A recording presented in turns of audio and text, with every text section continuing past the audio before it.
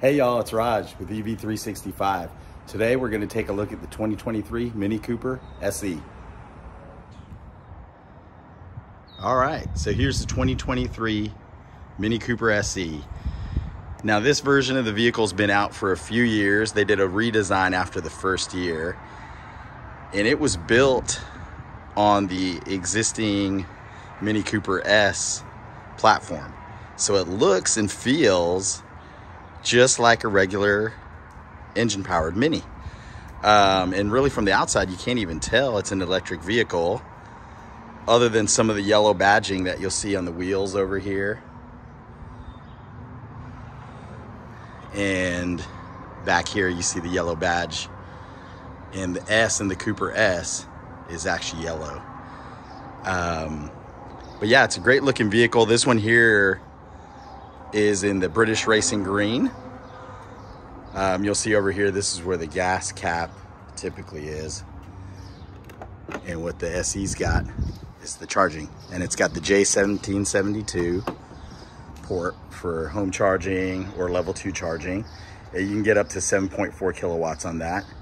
And then you can pull this out over here for CCS charging and you can get up to 50 kilowatts there.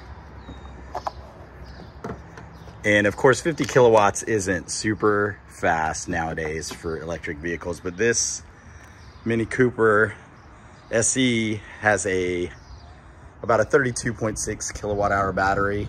So it's not super big. That only gives you about 115 miles of range. But at that 50 kilowatts, you can get it charged from zero to 80 or 10 to 80 in about 30 minutes, 30 to 35 minutes. And, and the Cooper does hold its speed pretty well uh, when it's charging. You know, obviously after 80, it's gonna drop off a little bit. Um, so this vehicle, you know, with that short range is probably not practical for everybody, but if you're just driving the vehicle around town, short commutes to and from work, if you've got charging at home or at work, um, it is a really fun vehicle to drive. Um, this one will run you about 30,900 starting, and then there's two trim levels above that. But that bottom level comes really loaded and we'll show you some of the features inside. This one's the signature trim. So it does have a little more of the bells and whistles, but honestly, that first model is pretty loaded. If you're not too interested in the sunroof, then that's probably the way to go. Or in the slightly larger vehicles, you can see this one comes with the 17 inch uh, wheels as opposed to the 16 inch. So yeah, that's the Mini Cooper SE from the outside. So now we'll just go in the vehicle, and this one's got the racing stripes as well, as you can see, um, which was an add-on, and the roof rails, which was a factory add-on, which I'd highly recommend uh, the roof rails uh, installed by Mini, because their roof rack is super easy to use. Um, and I actually did drive this vehicle for a year, so very familiar with it, enjoyed it. And at this price point, it is the best driving vehicle, I would say. Um, and I know that's a matter of opinion for folks, but you're gonna get the most pep out of this thing. It can go zero to 60 in about 6.9 seconds, you know, which is not super fast, but it's enough to have some fun. Um, and the handling is just so much better than the other vehicles in this range, which you're thinking of the Bolt and maybe some of the early Ioniqs, the Leaf. Um, and the other thing about it, it used to come with a rebate. Uh, but now under the new program, it won't because the Mini, these particular models of Mini in 2024 is going to be the last year they build it in the Oxford facility in the UK, which is the original factory where these Minis were built. Uh, 2024 is going to be the last year they build this model, and then it's going to be built out of China with a partnership that BMW's got with a company out there. Um, but yeah, since it's built overseas, uh, we don't get the rebate here in the US anymore, but you still may get some state dealership rebates. All right, let's go check out the inside and the trunk. All right, so now let's go inside. We'll open the door here. And one thing you can see, by the way, hi.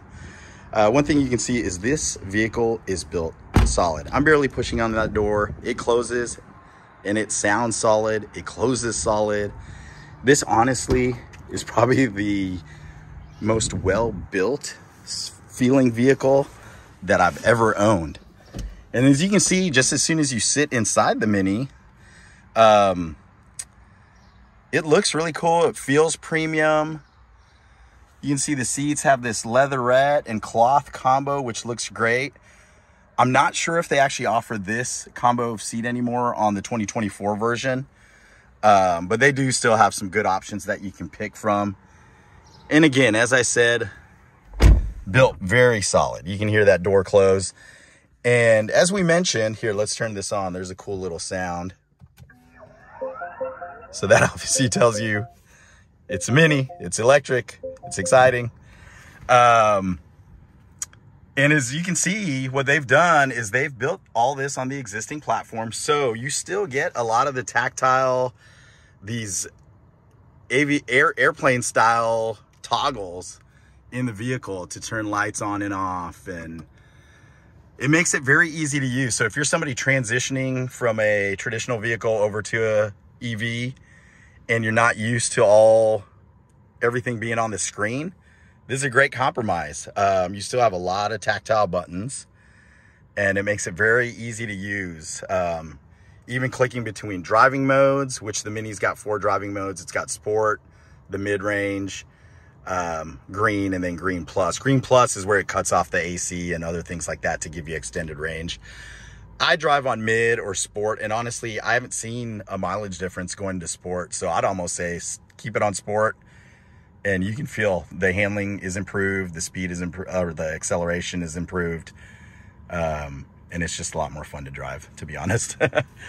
um, and the Mini is front wheel drive. So one thing I'll mention when you do drive, you do feel a little torque if you accelerate kind of hard. Torque steering will vibrate a little. So that's the only one little complaint I have when driving. Um, you know, obviously if they went with a rear wheel drive, that may have not happened, but they built this on the existing platform. So they filled batteries up here in this transmission uh, tunnel over here. So you still got the hump in the middle of the car because of that.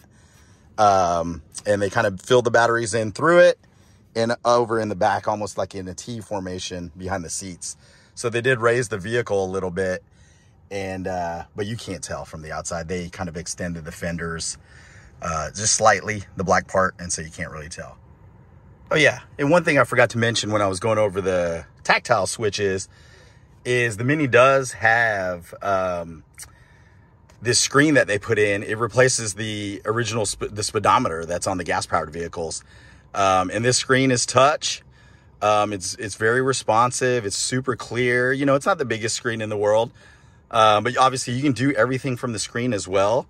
And you've got buttons here to control everything on the screen and the wheel. Um, so you just have a lot of options on how to control your content.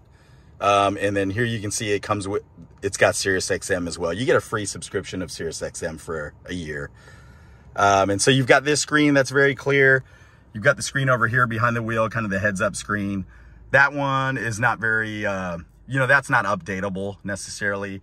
And I'm not sure that this is either. Mini's not doing like over the air updates or anything like that. So I think what you see is what you get as far as the tech inside the vehicle. But the car does also come with an app and you can do a lot of stuff from the app to control the vehicle, like your charging, your charging speed, charging times, unlock, turn on the climate control. Um, so that mini app is, is essential to have as well. So yeah, but the car comes fully loaded. It's got cruise control. Apple CarPlay wireless. Doesn't have Android yet. Um, and I, would imagine this model is not going to. Um, it's got dual climate control. And this all, all of this comes standard on the uh, the lowest trim, the $30,900 trim. So, um, and then as you upgrade, you get some options, you know, to change some of the inside paneling. And you've got a few options there. And now, you know, since we've ordered this, Mini allows for a little more individual customization. So if you want, you can add stripes, you can add the roof rails, you can upgrade your stereo. This one came with the Harman Kardon stereo, which of course in this small cabin, it sounds really good. It's fun. Um, this one with the signature trim does come with the dual moonroof. The, the back one does not open. This one does. As you can see, the covers there are manual. Um, and speaking of that, the other thing that's manual, which this is the only thing that's not premium in this car, and I can imagine they only did it because of weight is the seat. You've got to control it um, manually. So there's no way to, yeah, there you go. I'm already all the way back. But you've got to move it up and down using levers here and move it front and back using levers. Um, but yeah, that's the inside of the Mini. And in the front, space is not an issue. Uh, no matter how tall you are, this is definitely built for the driver and the driver's passenger, and you feel great in here. Um, we'll kind of pop out so you can see the back a little bit. Let me move the seat up.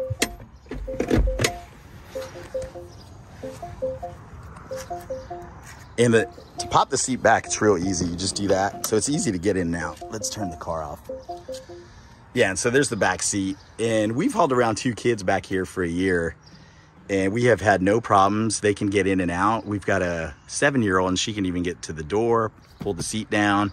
And plenty of, honestly, plenty of leg room if the first person, the person in the front seat is willing to just to compromise a little bit for these shorter trips. Obviously, you're not going to do long road trips in here. Um, and then those seats do drop down. And so if you need to get a bunch of storage, you can fit quite a bit in there and we'll, we'll show you that in a separate video, a storage video. Hello again. We'll pop that trunk just so you can see it. And like any hatchback, so when you first open it, it's not huge. That's about 8.7 cubic feet of space. Mini has done something cool where you can push these seats up and there's a lever that'll hold the streets seats a little further up and upright so you can feel, fit something more square in there. Um, we've got the rubber mats added. You can lift this panel up so it sits a little flat and then there's storage back there for your uh, chargers and things like that. And it's a pretty decent sized storage to be honest. Um, back seats are in a, say about a 60-40 split and they fall down individually just by pulling this lever. It's real easy to use. And it does come with a cover to cover stuff in the back if you need to, but we've taken that off for right now. So that's the front of the Mini, I mean the trunk of the Mini. And now let's go look at the front. Um, I'll open that All right, so this is how you open the front. Again, just like the back, you pull the pull it twice. Everything is manual in that regard. So let's go up here and a Mini, just a great looking car. And when you open that uh, hood, you know, it comes up over the, over the headlights. So that's kind of, you know, that old style vehicle.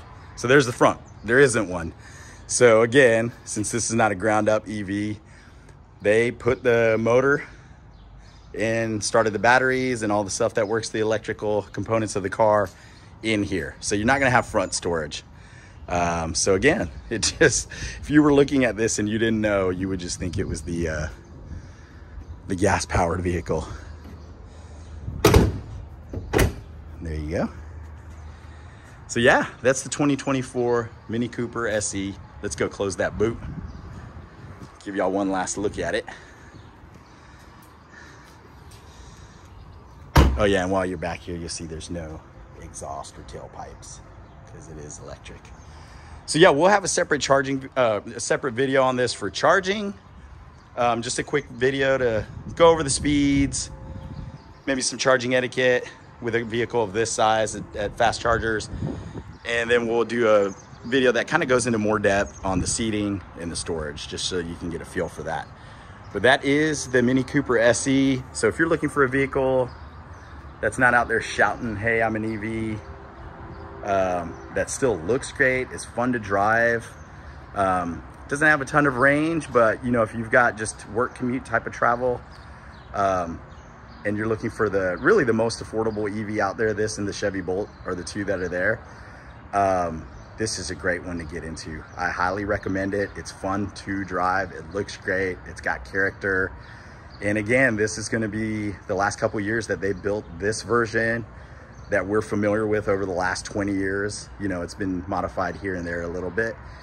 Um, it's the last ones that are gonna be built in the Oxford plant. So it's your chance to get in one and drive a fun EV. All right, thanks everybody. Bye.